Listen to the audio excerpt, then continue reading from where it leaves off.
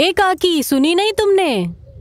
अशोक गहलोत जी ने gas cylinder का दाम कम करके ग्यारह सौ बीस रूपए ऐसी पाँच सौ रूपए कर दिया है। सच्ची बस आप अपने नजदीकी महँगाई राहत कैंप में जाओ अपना नाम लिखवाओ वहाँ आपको मुख्यमंत्री गारंटी कार्ड मिलेगा।